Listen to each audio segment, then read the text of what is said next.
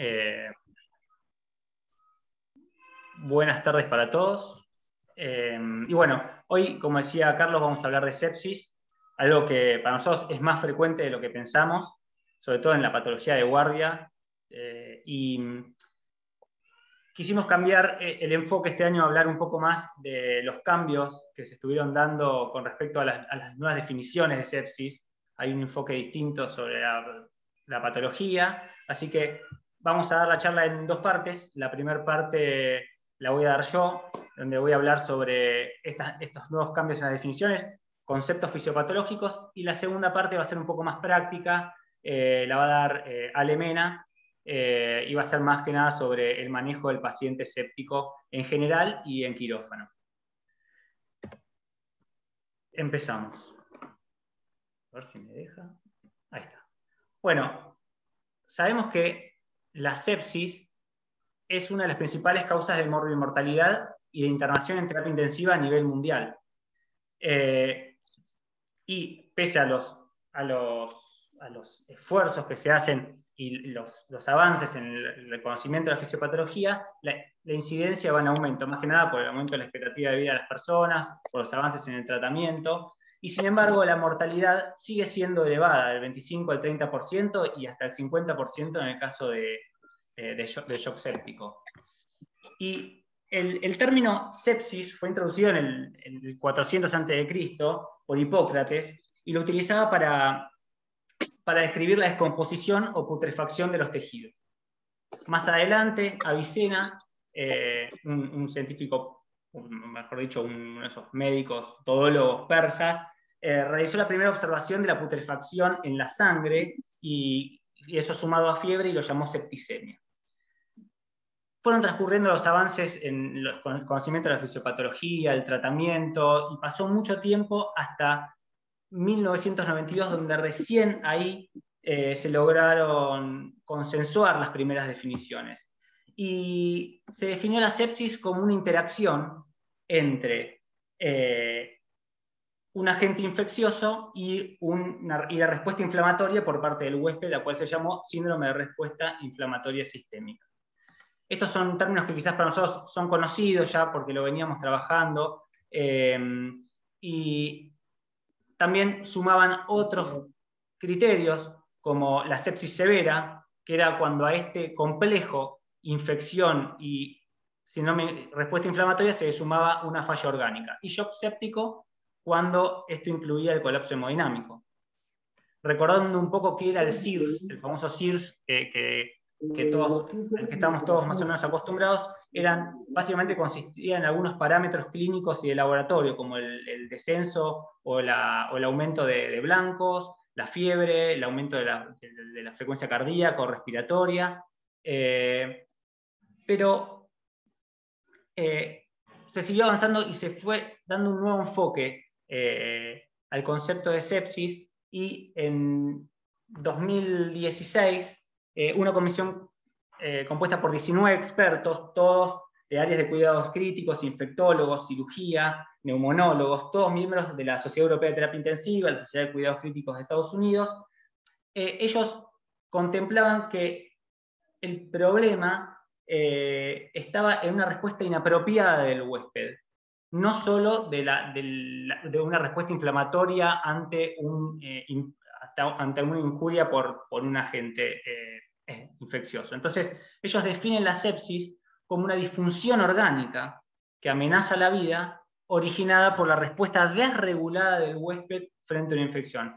Ahora pasa a estar en el enfoque el, el huésped y la respuesta eh, que pueda tener ante eh, ese, ese agente infeccioso. Con el botón de ingresar vivo. Si este botón no aparece, es que el moderador aún no ha habilitado la sala. Y, Espere y, e y esto no sé si, esto, digamos, viene en, distintos estudios en los cuales, eh, por ejemplo, en ratas se había inyectado factor de necrosis tumoral, es una citoquina inflamatoria que se produce por cualquier causa inflamatoria no necesariamente infecciosa, y se vio que los pacientes que, perdón, que los ratones a los que se inyectaba eso generaban en, pocas horas respuestas clínicas eh, similares al shock séptico. Eh, entonces, les pareció que, esta, esta, definición cuadraba más. ¿Y, qué parámetro usaban o, usaron para, definir falla orgánica? Lo que, lo que usaron es el score de SOFA, que ahora lo vamos a ver. El score de SOFA mayor a dos puntos, eh, como consecuencia de una, infección, se, mm, digamos, se consideró disfunción orgánica.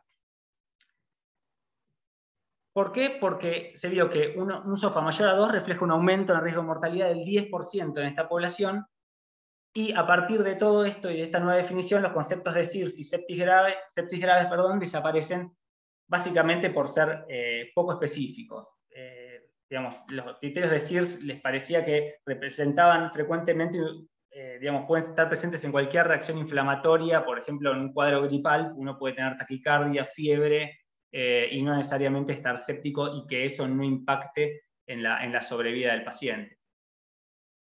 Acá tenemos un esquema del score de SOFA, eh, donde vemos parámetros de laboratorio. Es un score que se, amolda también a los pacientes que quizás vemos nosotros en, laboratorio, en, quirófano, que, tenemos acceso al laboratorio, eh, o a parámetros del respirador, eh, o a pacientes de terapia intensiva. Tenemos la PAFI, las plaquetas, la, la bilirrubina, la función renal a partir de los valores de creatinina, y algunos parámetros clínicos como la hipotensión o la escala de Glasgow. Ellos también definen o redefinen el concepto de shock séptico y que si bien parece parecido al, anterior, le agrega algunas cosas. Ellos definen el shock séptico como eh, sepsis con hipotensión persistente refractaria fluidos que requiere vasopresores para mantener una TAM mayor o igual a 65 milímetros de mercurio pero le suman a esto un láctico sérico mayor o igual a 2.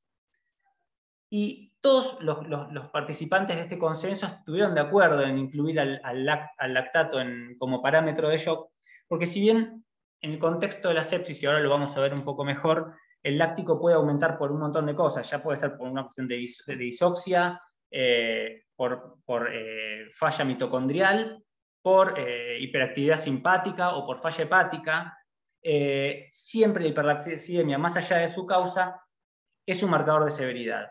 ¿Por qué?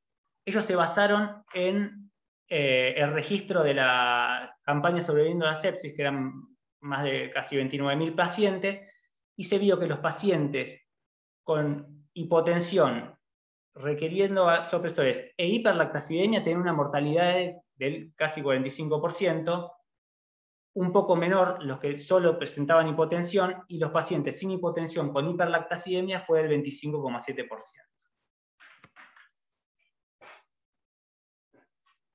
Estas son las definiciones y ahora la idea es hablar un poco de la fisiopatología y ver por qué, digamos, ellos, a, partir de este cambio en, la interpretación de la fisiopatología, llegaron a estas nuevas definiciones.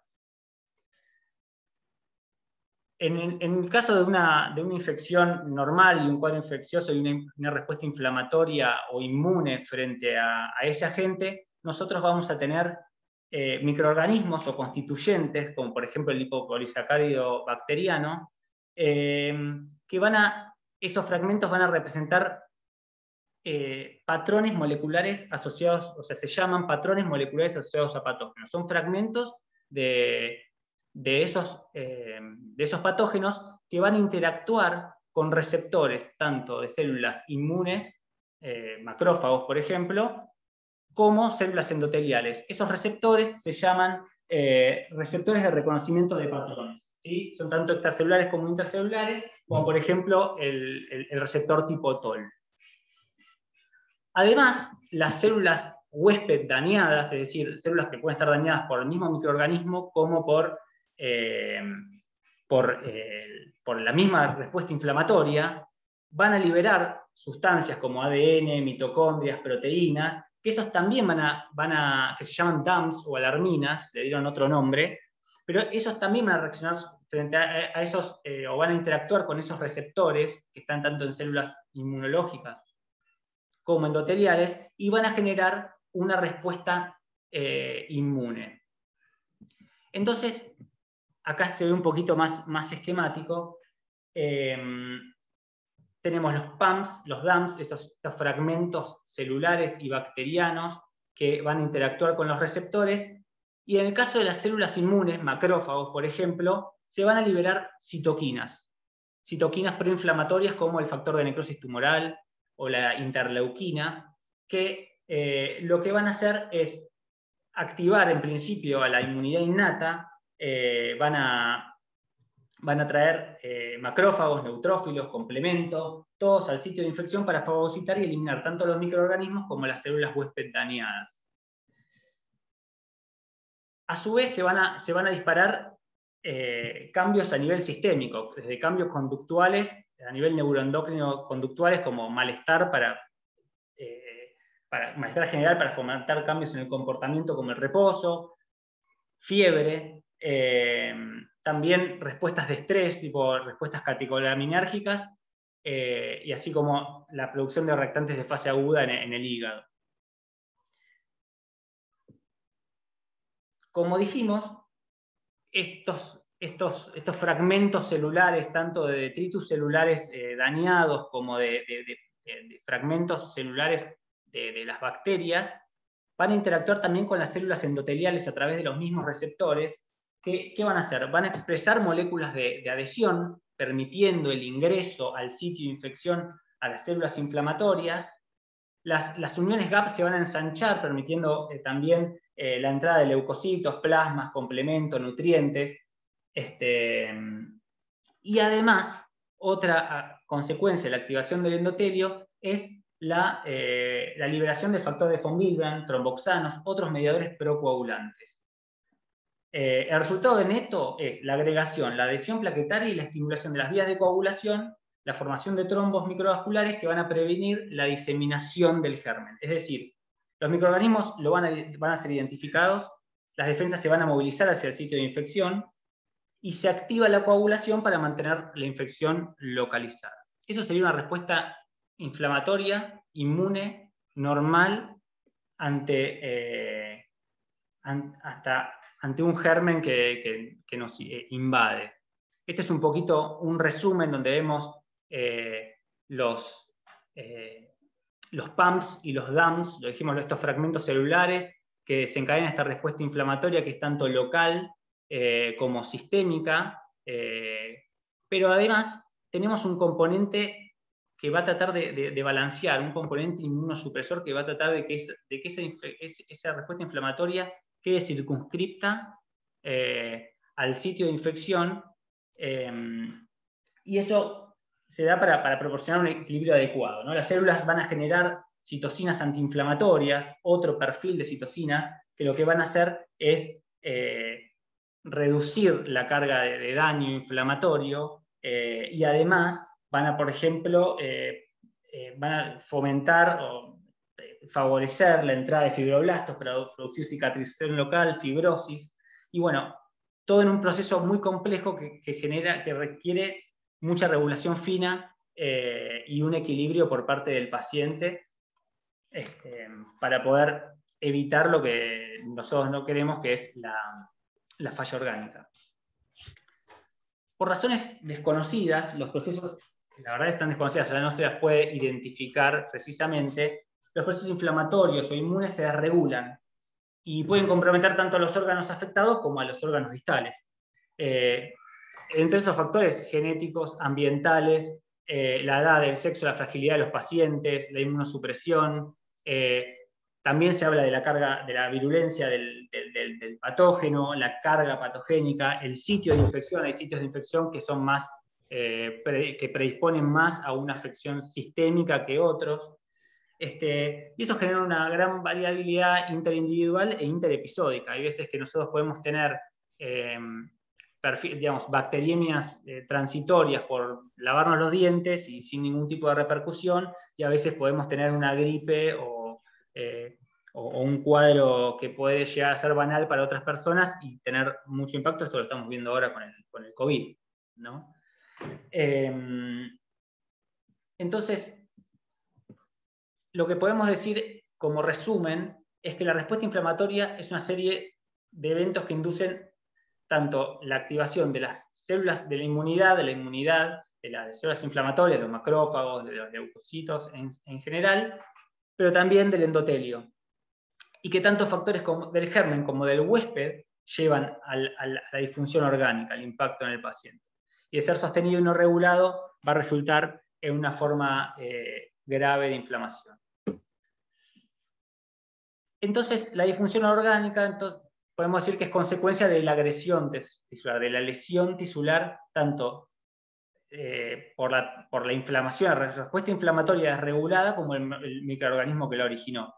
Y esta lesión celular se, vio que tiene tres mecanismos elementales. La lesión citopática misma por, por, por, el lipopolisacárido, por el factor de necrosis tumoral, por, las citocinas, eh, que generan falla mitocondrial y disfunción celular.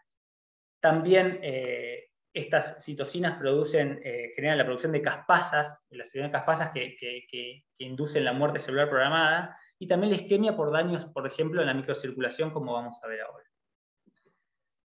Los pilares de la disfunción orgánica y los pilares de la, de la fisiopatología de la sepsis, y, cuando vemos cómo, cómo fallan los órganos, son tres.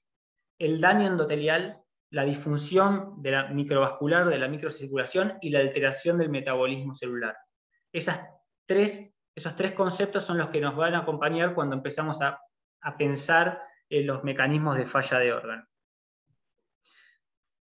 A nivel de la microcirculación, esto lo pongo aparte porque es bien distintivo de la, de la sepsis, eh, se vio que cuando vieron, hicieron espectrofotometría de reflactancia, vieron que los pacientes sépticos tenían menor densidad capilar comparado con eh, personas sanas o con enfermos por otras causas que no eran la sepsis.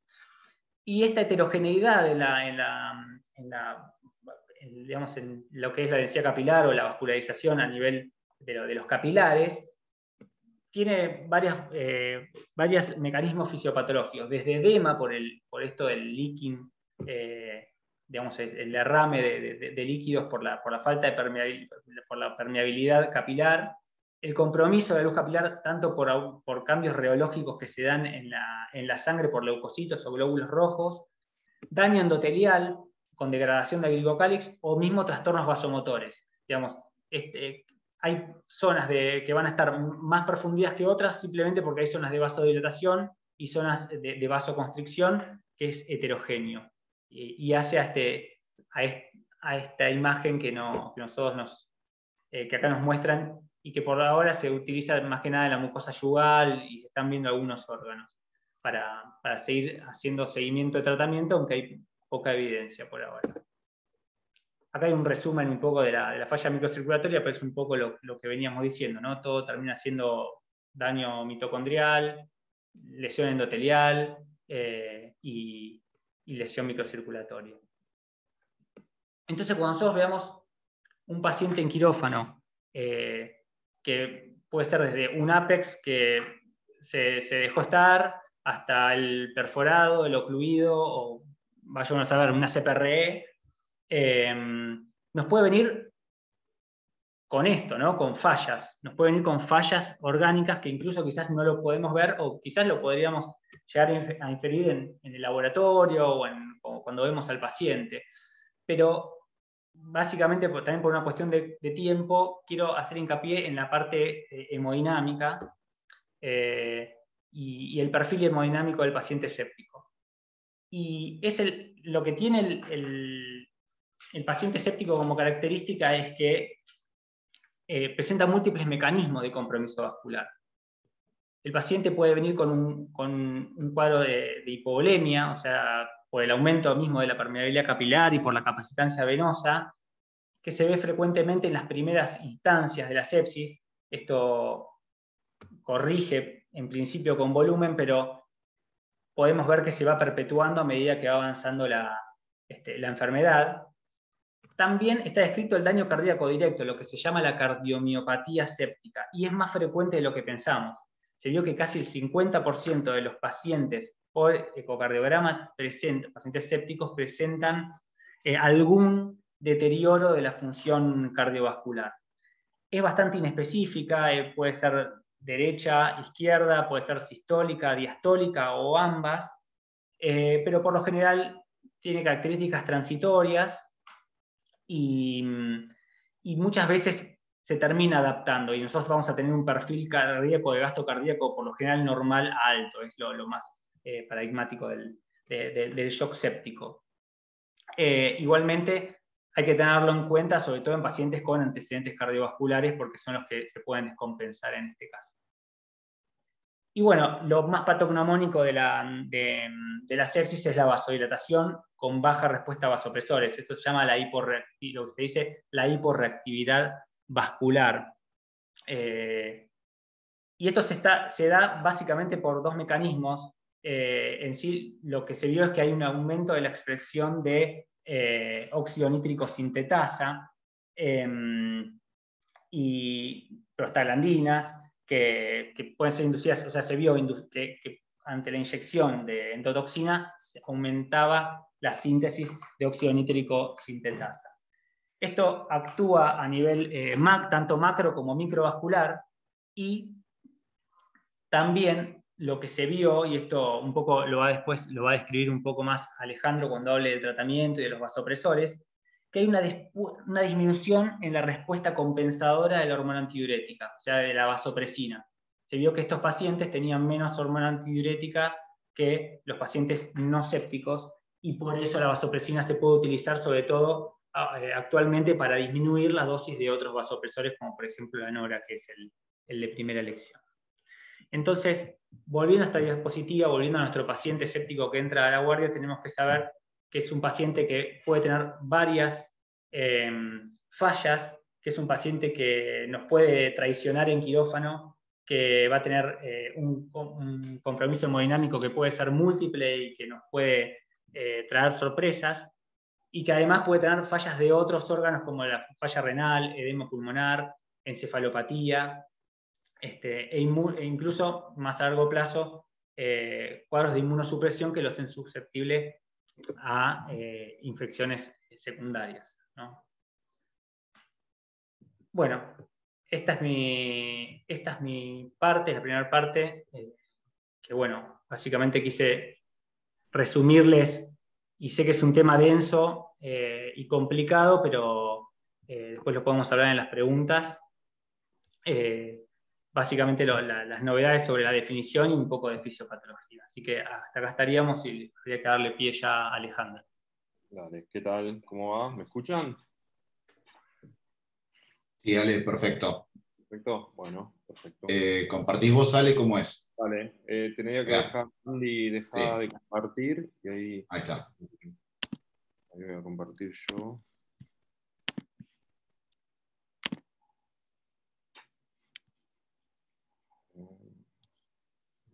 Ahí está, perfecto, vale.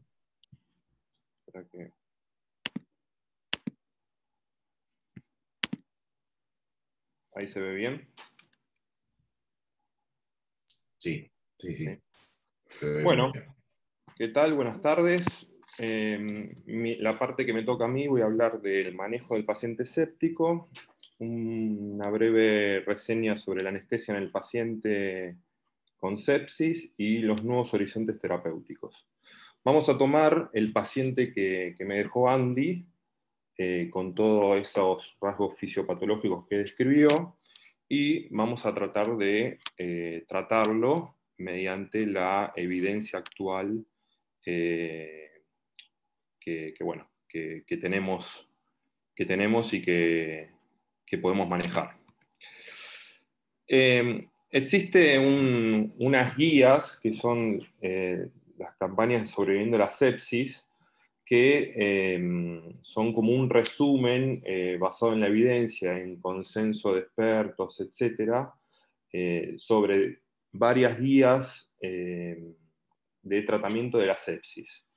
Em, en ella dan unas pautas, unas, intervenciones que suelen tener un, una mejoría en la mortalidad de los pacientes y que año tras año, eh, la última que creo que, recibimos es del 2016, eh, eh, van, dando intervenciones que son útiles para la terapéutica. Estas intervenciones son bastante rígidas en algunos, aspectos, por lo tanto hay que tomarlas como tal, sea, hay que tomarlas como una guía eh, y creo que el concepto general que tenemos que tener eh, en cuenta es que en cada paciente hay que individualizar la terapéutica, ya que todos son diferentes o tienen una respuesta frente a la infección diferente. Em, inicialmente, si recibimos un paciente séptico, lo ideal sería asegurar la vía aérea de administrar oxígeno. Eh, estas guías hablan de establecer un acceso endovenoso adecuado rápidamente. Si es posible, puede ser un catéter venoso central. Eh, pero inicialmente, si uno eh, le puede poner un, un ABOCA 14 o lo que pueda, ya es útil para iniciar la terapéutica. Y luego de hacer eso, inicialmente tendríamos que empezar a hacer el diagnóstico de qué, es lo que le está pasando a ese paciente, o sea, cómo podemos eh, diferenciar si esto es una neumonía, si es una sepsis eh, relacionada a un catéter o, por ejemplo, es una endocarditis, etc. Estas guías de la campaña sobre la sepsis hablan de eh, dos eh, dos momentos. Uno, una cierta intervención es a completar eh, dentro de las tres horas, que es la medición del lactato, eh, obtención de cultivos y previo a los antibióticos, administrar antibióticos de amplio espectro luego de esa toma de cultivos y comenzar con una agresiva resucitación basada en cristaloides y luego obviamente tratar de mejorar lo que es la perfusión sistémica. Y luego otra parte que es, habitualmente a completar dentro de las seis horas, que puede ser agregar vasopresores o, eh, por ejemplo, eh, reevaluar toda la terapéutica para optimizar la perfusión sistémica. Inicialmente el paciente puede tener confusión, eh, aquí debajo hay unos síntomas, una serie de síntomas que, nos pueden eh, dar la pauta de qué sistema eh, está afectado en mayor proporción. Las investigaciones iniciales entonces que, que les estaba comentando son cultivos, laboratorio completo con gasometría, lactato, imágenes. Eso es inicialmente si, por ejemplo, nosotros fuéramos un médico de una guardia, por ejemplo, el área A, tendríamos que inicialmente hacer. La procalcitonina, después lo voy a mencionar, tiene una evidencia limitada como, eh, de entrada para, para, pedirla. Después vamos a hablar de eso.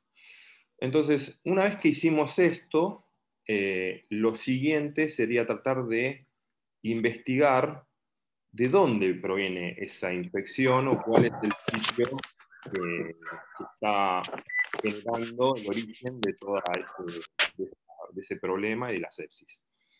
Fíjense que acá, eh, dentro de la evaluación inicial de los sitios de, las fuentes de, origen de infecciosas, hay un montón de, aspectos a, tener en cuenta. Los síntomas, los síntomas y signos nos pueden dar la pauta de cuál es el, sitio de origen y a, través de esa orientación uno puede tomar la, conducta de tomar cultivos de esas, de esas áreas. Eh, obviamente cada institución o cada sistema de emergencia, etcétera, tiene una metodología a trabajar, por lo cual eso va a estar eh, muy influenciado por cada institución, pero habitualmente se trata de pan cultivar a todo el paciente. Las fuentes más comunes de sepsis, fíjense que son dentro del sistema respiratorio, el tracto urinario, el, compartimento abdominal, el sistema cardiovascular y las partes blandas son habitualmente los más frecuentes. Y fíjense que eh, uno de los patógenos más habitualmente presentes es la Escherichia coli, eh, y luego a nivel respiratorio está, está bastante peleada la, cosa. Em, y dentro de lo que es el sistema cardiovascular, el estafilococo metilcinino resistente o metilcinino sensible tiene, tiene mucha, mucha influencia. Eh, luego lo que son eh, infecciones asociadas a tejidos es también muy parejo. Y otras que podemos mencionar ahora actualmente, que lo estamos viviendo todos, es la pandemia del COVID-19. dada la nueva, la nueva concepción sobre la sepsis, es considerado un, un agente infeccioso que puede generar una sepsis. Luego de hacer eso, lo que habitualmente las guías dicen o recomiendan es hacer una reanimación inicial. La reanimación inicial está caracterizada por dos conceptos fundamentales. El primero es restaurar la perfusión sistémica y el segundo es la antibiótico-terapia. ¿Cómo vamos a restaurar la perfusión sistémica? Eh, recomiendan una fluidoterapia agresiva, 30 mililitros kilo, en las primeras tres horas. ¿Qué, tipo de líquido vamos a usar? Dentro del Safe Trial, eh, que es, un trabajo que, compara el uso de cristal versus alúmina, no se encontró un beneficio entre el uso de algunas preferentemente a cristaloides. Eh, otros trabajos muestran que los coloides incrementan la mortalidad y otros trabajos muestran que las soluciones balanceadas en análisis retrospectivos están asociadas a una menor mortalidad. Y dentro de la antibioticoterapia, eh, lo, interesante o lo que uno quiere eh, realizar es, dentro de la primera hora, es administrar, eh, si es posible, antibióticos de amplio espectro. y si no se puede dentro de la primera hora, es abocarse a la realización de cultivos y después hacerlo entre las tres horas. Cuanto más tiempo pase de la administración de antibióticos, más incremento hay del riesgo de eh, mortalidad. Eh, es fundamental individualizar la terapéutica, ya que existen diferentes eh, sensibilidades antibióticos, resistencia, etc. Y es ideal combinar antibióticos como por ejemplo vancomicina y una cefalosporina de tercera generación, o por ejemplo si hay eh, presencia de pseudomonas aeruginosa, es, eh, de buena práctica utilizar fármacos que tengan en su espectro eh, ese patógeno. En este trabajo de New England se, se compara los cristaloides balanceados versus la solución salida en pacientes críticos. Y fíjense acá en este análisis eh, en el que, dado la, heterogeneidad de, los resultados, fíjense en el subgrupo de sepsis, hay una clara, un, claro, eh, un claro beneficio sobre los cristaloides balanceados frente a la solución salida. ¿Cuáles son habitualmente los, los cristaloides balanceados? Con el Ringer, el isofundin y el plasma light. Habitualmente nosotros tenemos isofundin y Ringer, manejamos eso en quirófano, así que con ese tipo de fluidos deberíamos reanimar al paciente. En el caso de no lo obviamente hay que usar la solución salina. Bueno, y cómo una vez que reanimamos al paciente de acuerdo a ese tipo de guías, lo ideal es tratar ir monitoreando en cada paso la terapéutica, sobre todo para optimizarla. ¿Cómo vamos a hacerlo? Inicialmente podemos colocar un catéter venoso central eh, para medir fluidoterapia y medir presión venosa central y saturación venosa de oxígeno. un catéter arterial que últimamente eh, dentro de lo que es eh, las últimas publicaciones, eh, tiene una gran utilidad para las mediciones dinámicas, como vamos a ver ahora dentro de un ratito, que son mucho mejores que las estáticas. Y el target a, conseguir mediante este catéter arterial es una una presión arterial media entre 60 y 65 milímetros de, mercurio.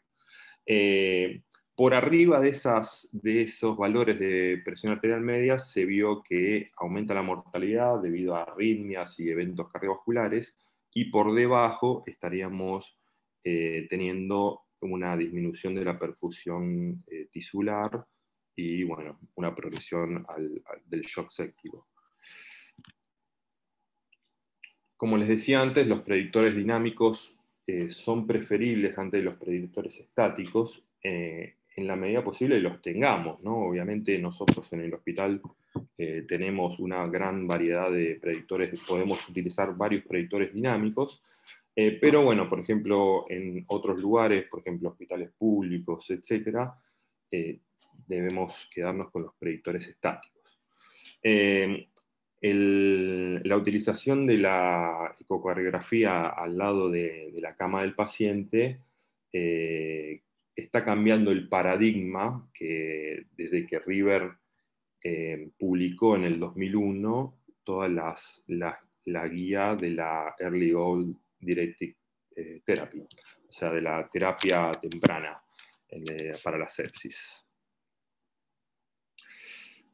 Y bueno, con, esto, con el uso de esta ecografía, lo que podemos llegar a ver es el diámetro de la vena cava, la variación de la presión de pulso de la arteria radial, eh, efecto Doppler, eh, integrales de velocidad del tracto de salida del ventrículo izquierdo, eh, etc. Hay muchas mediciones que se pueden hacer mediante la ecografía y la ecocardiografía. ¿Cuáles son los objetivos estáticos en contraparte? Como Rivers hablaba, son la presión venosa central entre 8 y 12 miligramos de mercurio y la saturación venosa central mayor a 70%. Eh, entonces, acá tenemos dos posibilidades de eh, monitorear al paciente y van a estar relacionados con la tecnología que tengamos eh, en nuestro arsenal terapéutico. En 2014 y 2015 se, publicaron tres trabajos que demostraron, el PROCESS, el PROMISE y el ARISE, que demostraron que todo lo que había descrito eh, Rivers en, los protocolos rígidos de terapéutica de la sepsis eh, hace 20 años, eh, no mostraron una, reducción de la mortalidad general. Entonces, a raíz de todo eso, empezaron a, a modificarse la tendencia hacia los eh, el monitoreo dinámico de estos pacientes. Por ejemplo, en 2020 se publicó este artículo en CHEST que habla de la respuesta a fluidos en, el shock séptico. Fíjense que eh, utilizan eh, un algoritmo con la elevación pasiva de piernas y la variación del volumen sistólico. Eh, cuando hay cierto tipo de variación, se van a utilizar o vasopresores o fluidos con líquidos. Si, son, si los pacientes son respondedores a fluidos, se van a usar los fluidos y si no son respondedores, van a tratar de utilizar vasopresores. Y fíjense que en el algoritmo todo el tiempo se está reevaluando eh, la perfusión sistémica. O sea, siempre hay que estar reevaluando al paciente para conseguir los, lo que se llaman targets de la terapéutica, que son la presión arterial médica, un, eh, output urinario adecuado, eh, por ejemplo, una saturación venosa central mayor a 70, etc. Dentro de lo que es el monitoreo también está el lactato. El, lactato, como, vimos antes, en la reanimación inicial es, de utilidad eh, pedirlo, solicitarlo, analizarlo. Eh, y años atrás lo que se realizaba era un clearance de lactato. Había un trabajo que hablaba de que el clearance de lactato eh, podía guiar la terapéutica en pacientes sépticos a lo largo de nuevas publicaciones se ha visto que no, eh, el clearance lactato no se asocia a mejores outcomes y que es un pobre marcador de perfusión tisular, perdón, ahí dice titular, pero es tisular, eh, luego de una reanimación efectiva. O sea que, por ejemplo, un paciente ingresa con 6 de láctico, eh, si uno lo reanima efectivamente, mejora todos los, parámetros hemodinámicos, eh, no deberíamos guiarnos eh, con, el lactato para seguir la terapéutica, ya que nos podemos tener una, concepción errada de, la perfusión tisular. Pero ¿cuándo es útil el lactato? Porque lo medimos. Y la utilidad viene cuando el lactato aumenta eh, por ejemplo, en un paciente que tiene un láctico de 3 y que aumenta a 6, 7, duplica el valor, ahí eh, eso debería llamarnos la atención y tendríamos que adecuar la perfusión eh, para, para, mejorar la perfusión sistémica. O sea, generar medidas para mejorar la perfusión sistémica. Los gases arteriales son muy útiles, sobre todo cuando el paciente está intubado o, por ejemplo, tiene patología respiratoria. Recomiendan hacer un laboratorio completo cada seis horas. Los cultivos, cuando una vez que tengamos los resultados, nos van a servir para cambiar o switchar los antibióticos de acuerdo a la sensibilidad de cada patógeno. Y la medición de procalcitonina, como les dije antes, tiene evidencia limitada, eh, pero tiene utilidad para la discontinuación de antibióticos en pacientes con patología respiratoria.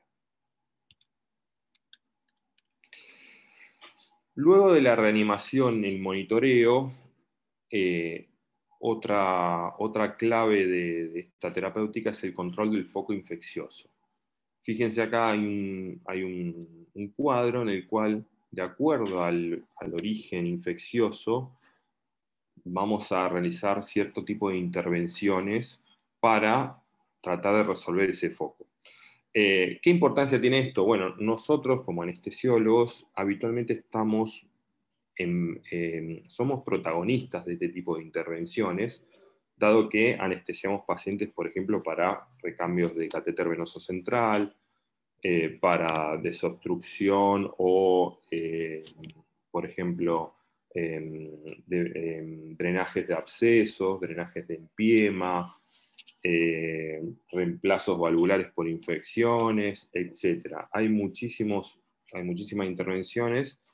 Eh, ¿Y cuál es el concepto de esto? Que todo el tiempo nosotros nos vamos a, enfrentar a posibles pacientes sépticos. O sea que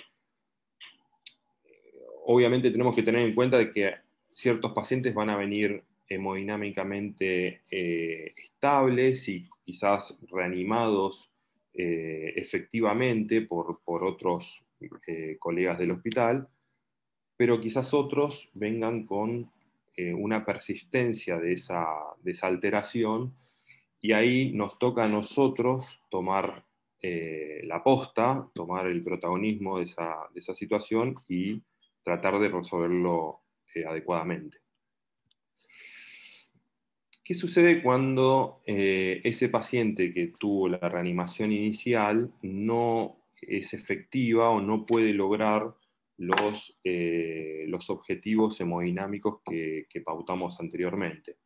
Bueno, es de vital importancia utilizar vasopresores para lograr, por ejemplo, una MAP adecuada eh, entre 60 y 65, como dijimos antes. ¿Qué tipo de vasopresores vamos a usar? Bueno, en todas las, líneas, ya lo hablamos esto en Ateneos previos también, la noradrenalina es el agente de primera línea. Eh, ¿Cuál es el rol de la vasopresina? El uso combinado de, con catecolaminas que permite reducir las dosis de noradrenalina y eh, combinar mediante diferentes mecanismos de acción eh, para mejorar la, la hemodinamia del paciente. Eh, la dopamina antes era una opción, pero a lo largo de varios trabajos y, de, mucho, de, mucha revisión de, este fármaco, se vio que tiene un riesgo ritmogénico que aumenta la mortalidad. Eh, por lo tanto, queda como un fármaco de casi prácticamente última línea eh, y que quizás tiene solo utilidad en el contexto de un paciente con bradicardia. La glutamina, más allá que no es un vasopresor, eh, puede utilizarse cuando hay bajo gasto cardíaco eh, y la alternativa cuando existe bajo gasto y no podemos utilizar dobutamina eh, sería la epinefrina. El levosimendan habitualmente se utiliza en casos refractarios. Fíjense ahí abajo está el efecto de cada droga sobre la contractilidad, la frecuencia cardíaca y la, constricción arteriolar.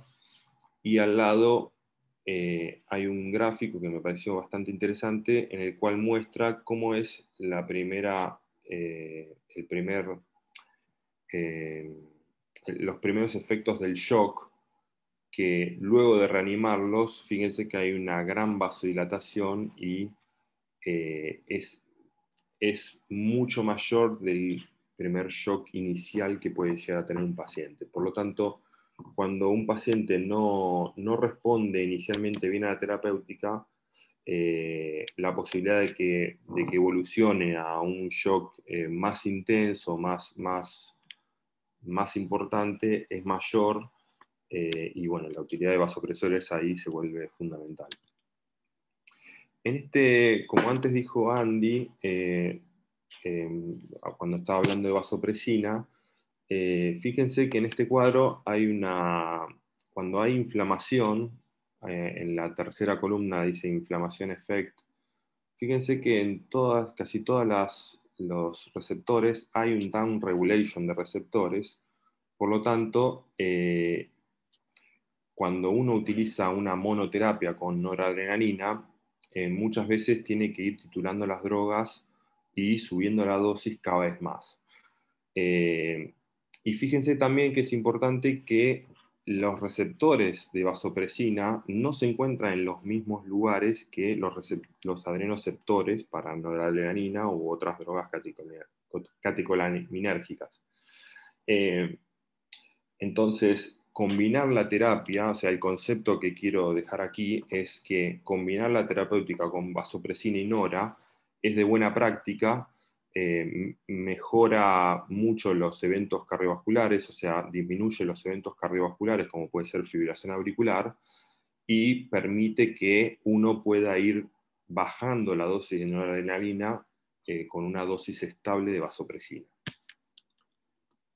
Fíjense también que hay unos análogos de vasopresina, como la celipresina y la terlipresina, que tienen, tienen eh, parecen promisorios para la terapéutica. Bueno, ¿qué otras terapias complementarias podemos utilizar para este tipo de pacientes? Los glucocorticoides, eh, hay un gran consenso en que no se utilicen de uso rutinario, pero en pacientes refractarios eh, pueden llegar a ser útiles.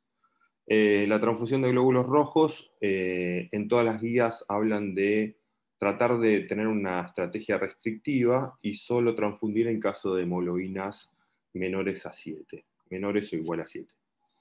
¿Cuáles son las excepciones a eso? La isquemia miocárdica, el sangrado activo, etc. O sea, hay varias excepciones, pero bueno, las principales son esas dos, en el cual tendríamos que tener un target de hemoglobina un poquito mayor.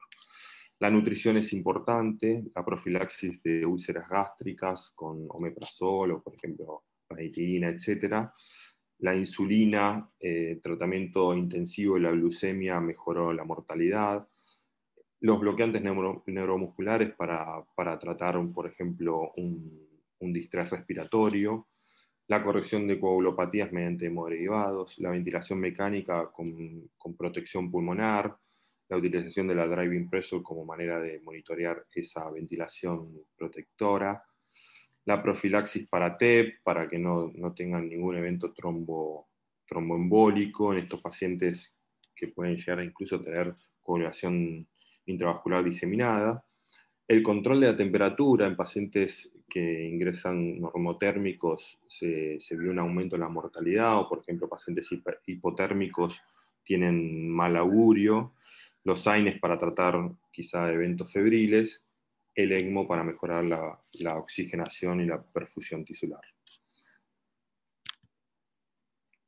Bueno, luego de este panorama rápido, resumido, eh, es muy difícil a veces resumir tanta, tanta terapéutica en unos pocos minutos, vamos a hablar un poco del manejo anestésico de estos pacientes. Eh, este trabajo me pareció bastante interesante, es una revisión, de una, revisión narrativa eh, que resume muy bien todo lo relacionado a la sepsis. Si quieren después lo, lo podemos compartir. Eh, y bueno, vamos a hablar un poquito de cómo deberíamos hacer, por ejemplo, si estamos en quirófano, cómo deberíamos hacer la anestesia frente a un paciente séptico o a un paciente séptico. Eh, voy acá a dar una serie de pautas eh, que me parecieron importantes y a tener en cuenta. Eh, dado que los pacientes sépticos pueden venir con un grado de hipovolemia o hipotensión arterial o bueno, descompensación hemodinámica, dos fármacos son interesantes, el etomidato y la ketamina, debido a su estabilidad hemodinámica. Pero bueno, cada uno tiene sus particularidades. Por ejemplo, el tomidato puede, como ustedes ya saben, puede suprimir la hidroxilasa mitocondrial. Entonces, eh, en el caso de tener una insuficiencia adrenal, una sospecha, una hipertensión refractaria luego de la administración, deberíamos administrar glucocorticoides para tratar ese tipo, ese tipo de efecto adverso. La ketamina en ciertos pacientes con bajas reservas de, eh, de catecolaminas puede dar una depresión cardiovascular importante. Eh, los opioides tienen un riesgo de hipotensión cuando los pacientes están dependientes de catecolaminas, eh, por lo tanto no habría que usar altas dosis de opioides en bolo, eh, ya que podríamos tener un evento, un evento hipotensivo mayor. y también es importante tener en cuenta que todo el metabolismo de opioides, debido a la disminución de la perfusión renal y y hepática está alterado. Por lo tanto, deberíamos reducir también las dosis. Obviamente hay que tener precaución con el Propofol debido a su efecto vasodilatador, y, así que si, es posible tratar de evitarlo, pero bueno, en, muchas situaciones tenemos solamente ese tipo de inductor. Eh, los agentes volátiles tiene la particularidad de que en estos tipos de pacientes está, reducida la CAM, la concentración alveolar mínima, por lo tanto habría que reducir, eh, reducir el dial del, vaporizador eh, con obviamente una posible, una posible riesgo de despertar intraoperatorio o de que el paciente esté consciente durante el procedimiento.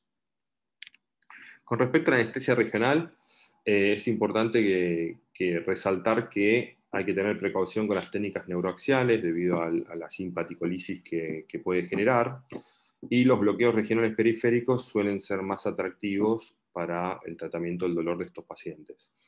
Eh, obviamente la ventilación pulmonar tiene que ser protectora, tiene que, eh, hay que utilizar bajos volúmenes corrientes, bajos volúmenes tidal, eh, tratar de optimizar la PIB óptima para cada paciente. Em, el monitoreo de la temperatura, como dije anteriormente, es importante, eh, la corrección de coagulopatías y obviamente estos pacientes, la gran mayoría terminan en una unidad de cuidados intensivos, eh, pero bueno, el concepto también que quería resaltar es hay que individualizar las decisiones respecto a la ventilación mecánica eh, ya que hay reportes de casos o, por ejemplo, cortes retrospectivas que hablan de que ciertos pacientes sépticos pueden retornar a... No, no, no, no deben estar todos en la terapia intensiva y algunos se pueden manejar en, en la sala de intervención general. Con respecto, voy a, a, hablar unos últimos, unos últimos minutos sobre la ventilación mecánica. Los pacientes con shock séptico tienen que, y que, tengan, que no tengan síndrome de dificultad respiratoria del adulto, eh, deberían ventilarse con volúmenes de corrientes bajos. Eh, cuando eh, está presente el síndrome de estrés respiratorio, existen tres posibilidades, que, que tengan una PAF menor a 200, entonces hay que utilizar un volumen de corriente bajo con y tratar de controlar la presión meseta. Si tiene una PAFI menor a 150, habría que utilizar el decúbito prono, se vio que el decúbito prono mejora un poco la oxigenación. Eh, y en el caso de que todo eso no, funcione, el ECMO eh, en centros de experiencia como el nuestro eh, se puede utilizar. En todo momento las estrategias de ventilación que utilizamos hay que estar valorizándolas y estar controlándolas, ya que a veces utilizar un volumen tidal puede alterar el pH sanguíneo y si utilizamos una PIP alta o maniobras de reclutamiento, puede alterarse la, hemodinámica del paciente. Está claro que la respiración espontánea, el paciente dejarlo en respiración espontánea eh, o tratando de hacer un Winnie, etcétera, puede generar eh, una potencial lesión pulmonar sobreagregada. Bueno, y en esta, en esta imagen que vemos, eh, acá tenemos un paciente que, puede ingresar al, quirófano y vamos a evaluar, eh, vamos a evaluar diferentes cosas cuando, cuando ingresa al quirófano. Eh, una, de las que podemos evaluar es la contractilidad del ventrículo izquierdo. Fíjense, tenemos tres posibilidades, que esté el paciente hiperdinámico, si el paciente está hiperdinámico y tiene una presión arterial media menor a 65, podemos administrarle un 10 mililitros kilo de, cristaloides. Eh, con eso podríamos utilizar, por ejemplo, ciertos eh, aspectos de la ecocardiografía eh, o de la, ecografía asociada al point of care, como puede ser mirar la, la vena cava, si está si está ingurgitada, si está colapsada, mirar, hacer una ecografía pulmonar para ver ciertos patrones. Todo eso se, recomienda hacer en estos pacientes y, eh, bueno, por ejemplo, si nosotros ese paciente lo tratamos con estas medidas mejoramos la presión arterial, podríamos intubarlo y luego hacer una nueva medición de todos esos tipos de valores. ¿Qué puede pasar a lo largo de una cirugía, por ejemplo? que el paciente evolucione hacia que mejore su estado hiperddinámico, eh, pero puede caer la presión arterial eh, media, con lo cual deberíamos agregar norepinefrina, o puede, por ejemplo, ir a una depresión cardiovascular, en lo cual vamos a necesitar agregar vasopresina o epinefrina. La idea es tratar de optimizar eh, para llegar a estos valores de perfusión. una presión arterial media mayor a 65, una saturación venosa mayor a 70, lactato menor a 2 y un ritmo diurético de 0,5, mayor a 0,5 mililitros kilo hora. Eh, también una de las medidas que tenemos dentro del quirófano es la, variación de presión de pulso, que fíjese abajo, en el caso de que el paciente no, sea una cirugía pulmonar no tenga fallo del ventrículo derecho y no esté con una, eh, frecuencia respiratoria muy elevada, podemos hacer un, un, challenge de volumen tidal subiendo el, el volumen a 8 mililitros kilo y verificar si la, la PPP es mayor o menor a 12. A raíz de eso, nosotros vamos a orientar la terapéutica. ¿Qué sucede si entra un paciente, pero tiene una, eh, por ejemplo, el ventrículo derecho, la eh, o sea, establecemos la contractilidad del ventrículo derecho? Puede pasar que tenga también otros tres escenarios, que esté bien, entonces podemos administrarle un volumen de líquido, la presión arterial media puede estar disminuida, lo cual podemos agregar vasopresina.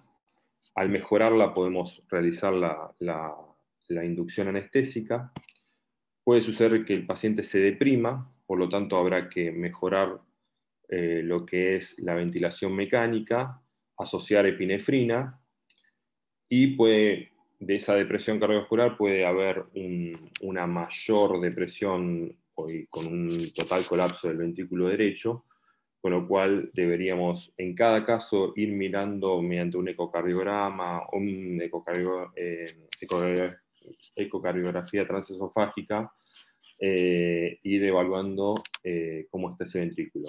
Se pueden utilizar óxido nítrico, se puede utilizar eh, epinefrina y milrinona para mejorar esa función del BD. Eh, y bueno, la idea es obviamente optimizar los, parámetros de perfusión. Bueno, y ahora ya terminando con la charla, los, los nuevos horizontes, los horizontes terapéuticos en vías de investigación, fíjense que son un montón. Ahí está todo relacionado con la, inflamación y la inmunidad del paciente. Eh, todo esto está en líneas de investigación. No voy a, no voy a extenderme con esto porque, porque es muy extenso, pero a, modo de, mención, eh, lo más interesante de esto es algo que les voy a mostrar ahora, que tiene que ver con, con la remoción de citoquinas y endotoxinas. Las citoquinas y endotoxinas están relacionadas con todos los efectos proinflamatorios que vemos en esta tabla de acá, eh, que activan, el, por ejemplo, la vía del complemento, generan fibrinolysis, leucocitosis, aumentan las hormonas contrarreguladoras, etc. O sea, una gran serie de cambios que eh, o sea, eh, desestabilizan al paciente y generan todo el cuadro. Eh, fíjense acá abajo hay un cuadro que muestra que el nivel de endotoxinas eh, está relacionado con los outcomes en los pacientes, en los pacientes con sepsis. Em, si tienen un alto nivel de endotoxinas, es probable que tenga un 22% de shock y que haya un aumento de la mortalidad hospitalaria. ¿Cuál es la idea de mencionarles todo esto? Que bueno, hay, un, hay un, nuevo, eh, una nueva intervención que es la remoción de, citoquinas mediante una máquina de, diálisis, en lo cual se, se, coloca un hemofiltro, como el que ven acá, fíjense ahí en, esa imagen, ahora lo voy a mostrar. Eh, con lo cual esto, este es el, el hemofiltro, con lo cual eso remueve las citoquinas y las endotoxinas eh, y permite una mejora del paciente del, estado proinflamatorio. Este es, el citosorb es uno de, los, de esos hemofiltros y eh, la FDA lo ha aprobado para la utilización de los pacientes con COVID. Eh, fíjense abajo que se puede utilizar en ECMO eh, con terapia de, diálisis o, por ejemplo, con hemoperfusión en pacientes que han sido intoxicados. Y la idea es, obviamente, sacar varios tipos de toxinas. Fíjense en el, dibujo de arriba que hay un montón de interleuquinas. Las principales es la interleuquina 1, el factor de necrosis tumoral alfa, la interleuquina 6, etc. Em, y bueno, ya para terminar, eh, estos son las marcas de, los, de otros eh, filtros que pueden ser útiles. Eh, todos necesitan anticoagulación sistémica. Algunas pueden sacar otro tipo de fármacos, como por ejemplo colistina y insolid, con lo cual hay que tenerlo en cuenta si están recibiendo ese tipo de tratamiento antibióticos, porque hay que administrarlos nuevamente.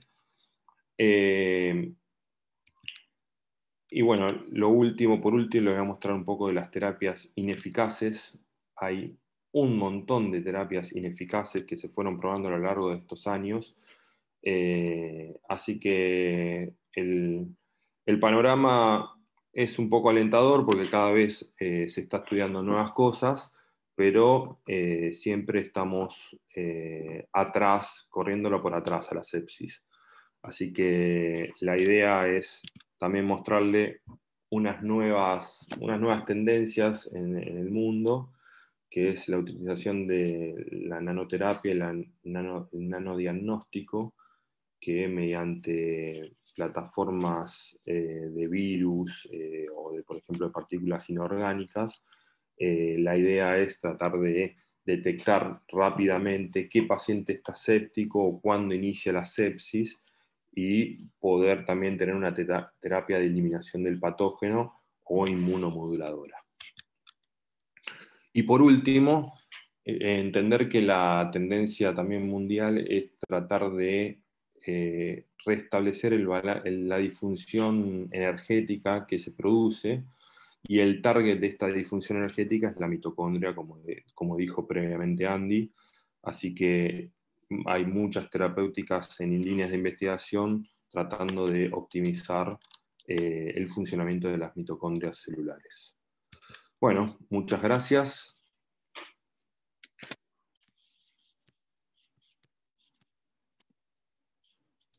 Bueno, muchas gracias a tanto a Andrés como a Ale. Hay un par de comentarios por el chat, no sé si lo llegaron a ver. Unos de, Juana Ponte, ¿sí? Que dice que hay, hay, un componente de hiperlactacidemia persistente que a veces no tiene que ver tanto con la perfusión en sí, sino con la falta de metabolismo hepático.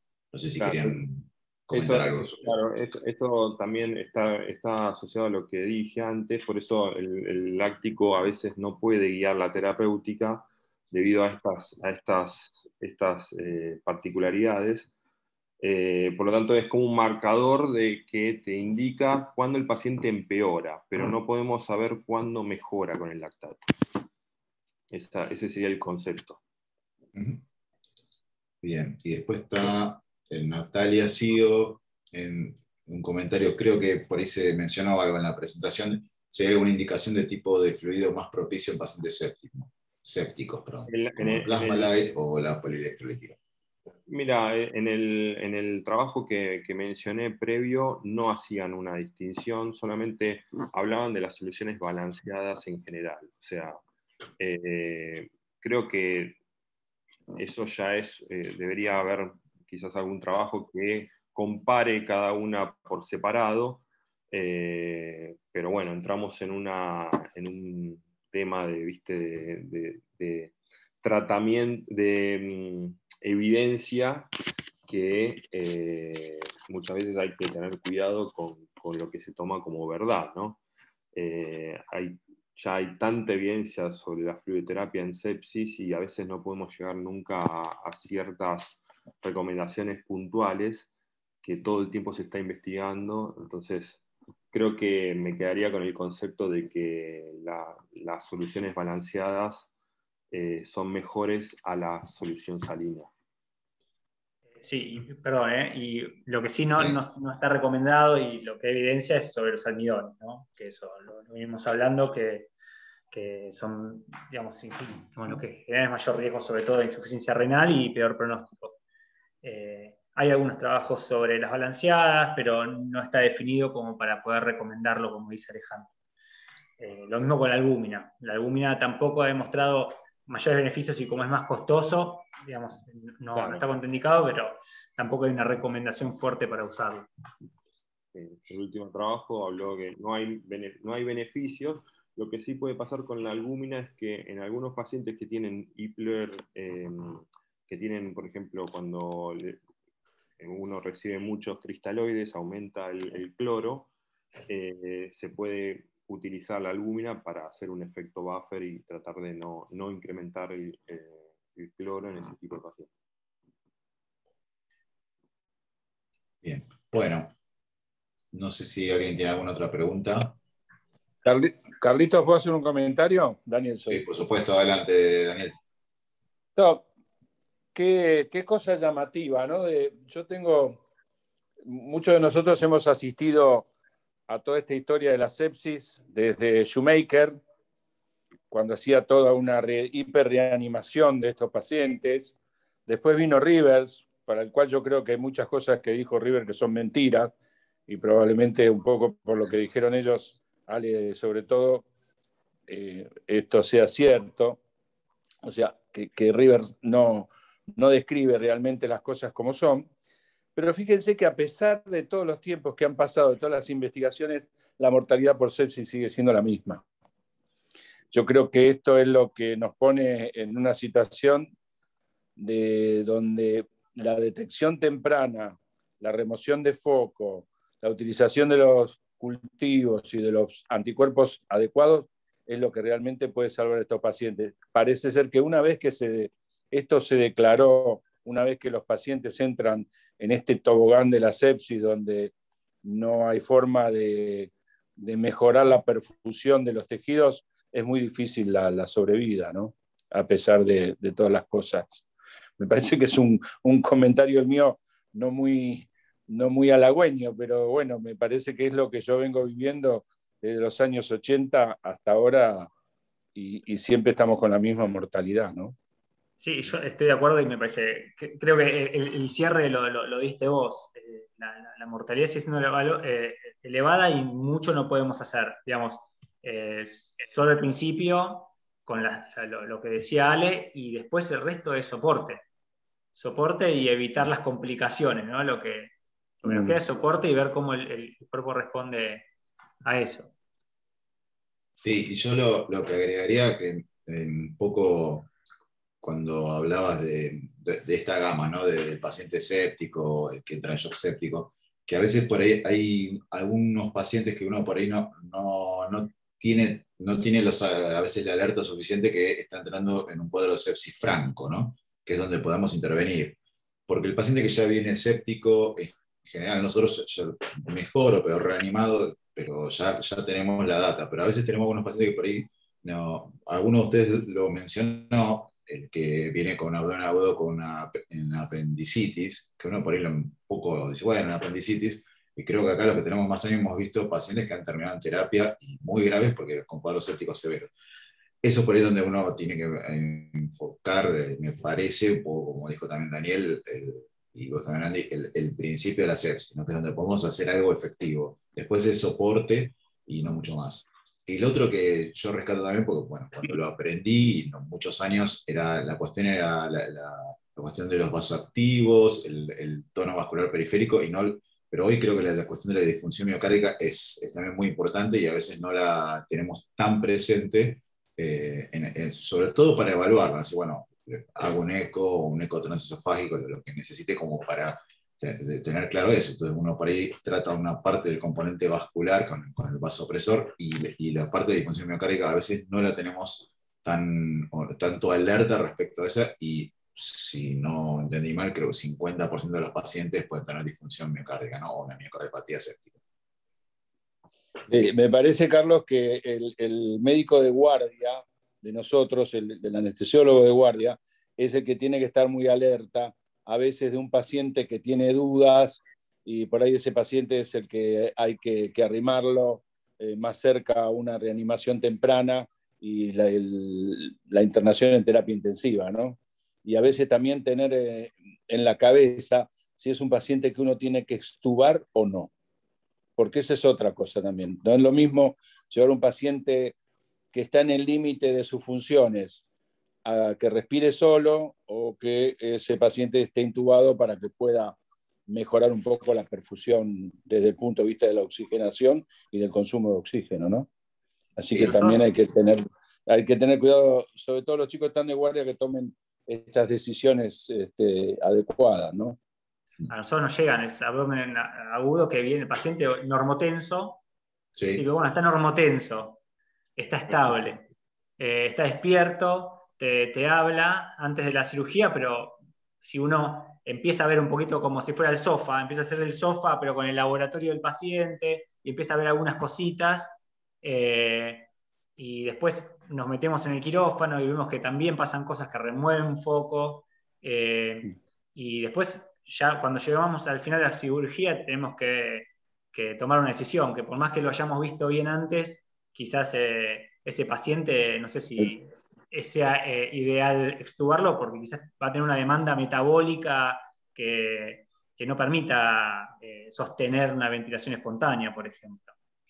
sí, muchas veces, Andy, con la remoción del foco y hay mayor permeación de germen y esos pacientes se, se, hipotenzan en ese momento, se ponen más, más este, hiperdinámicos. Eh, eso también es de alta sospecha, así que cuando pasa eso uno tiene que tener cuidado. Yo a veces creo que uno con la intención de estubar al paciente, de que esté mejor, de, no mantenerlo intubado, bueno, a veces uno puede cometer el error de someterlo al trabajo respiratorio o mayor consumo de oxígeno en un paciente que le va a costar disponer de ese oxígeno. Por eso, lo, por eso hice el comentario. Eh, bueno, yo por mí, gracias chicos, y disculpen las interrupciones, gracias por la clase. Todo lo, todo lo que leí, los trabajos que leí, las cosas que leí, hablan de una tendencia a individualizar la terapéutica en estos tipos de pacientes. Las guías de sepsis y todo lo que viene pasando hace 20 años hablan de cuestiones más rígidas para, como para utilizar medidas en todos los pacientes por igual, pero eh, la tendencia es otra. Creo que lo que nos estamos dando cuenta es que en cada paciente hay que hacer cosas diferentes. Sí, y la, cuestión de la, medicina personalizada, en esto también va, va, camino a lo mismo, ¿no? Seguro. Que eh, cuando en algún momento todo esto, como estabas al final, Ale, de que uno pueda medir diferentes elementos y bueno, el que le está impactando a este paciente es este, más que este otro, y bueno, tenemos que tratarlo por ese sí. Había, eh, la verdad que eh, era extenso de, mencionar, pero bueno, a ver, básicamente lo que quieren hacer es como, como si fuera una ELISA, de, por ejemplo, no sé, de un examen de laboratorio como un HIV, etcétera, medir ciertas interleuquinas, como por ejemplo la interleuquina 3, medirla y si está presente en un determinado título, saber que ese paciente está ingresando en un estado séptico. Con eso ya inicias la terapéutica así. Bueno, bueno. No sé si alguien más quiere hacer algún otro comentario. Bueno, Andrés y Ale, muchísimas gracias. A ustedes. Nos estamos viendo. Buena semana para todos. Gracias, igualmente. Hasta luego. Gracias por todo, nos vemos.